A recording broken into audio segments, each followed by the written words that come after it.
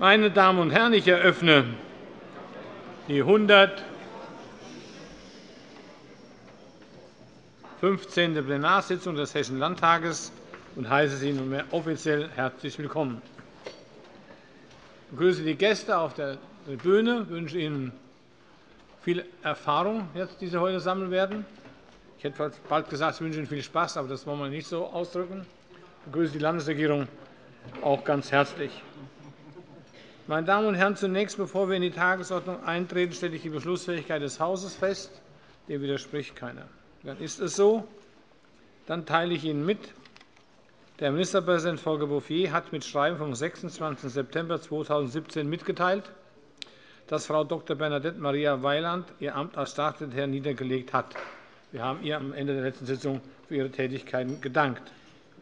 Als Nachfolger hat Herrn Dr. Martin Josef Worms mit Wirkung vom 1. September 2017 zum Staatssekretär beim Hessischen Minister der Finanzen ernannt. Lieber Herr Dr. Worms, herzlichen Glückwunsch, alles Gute für unser Land zu arbeiten. Ist eine schöne Sache.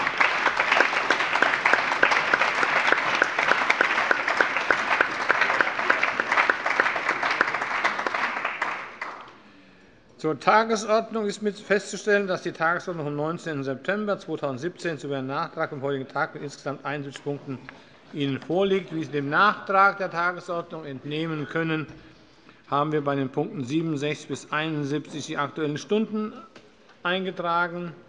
Die behandeln wir nach § 32 Abs. 6 unserer Geschäftsordnung mit je fünf Minuten pro Fraktion, wobei ich hinzufüge, dass die beiden ersten Aktuellen Stunden zusammengefasst mit siebeneinhalb Minuten durchgezogen werden. Die haben wir das festzustellen. Ganze beginnt am Donnerstag ab 9 Uhr. Entgegen der gedruckten Tagesordnung vom 19. September soll Top 10 die erste Lesung des Gesetzentwurfs der Fraktionen der CDU und der BÜNDNIS 90 die GRÜNEN für ein Gesetz zur Änderung des Landtagswahlgesetzes Drucksache 19-5273 nach der ersten Lesung nicht an den Hauptausschuss, sondern an den INA überwiesen werden. Das nur zu Ihrer Information. Mehr habe ich nicht zu sagen zu der Tagesordnung, außer die Frage, ob damit die Tagesordnung genehmigt ist keine widerspricht, dann ist das so.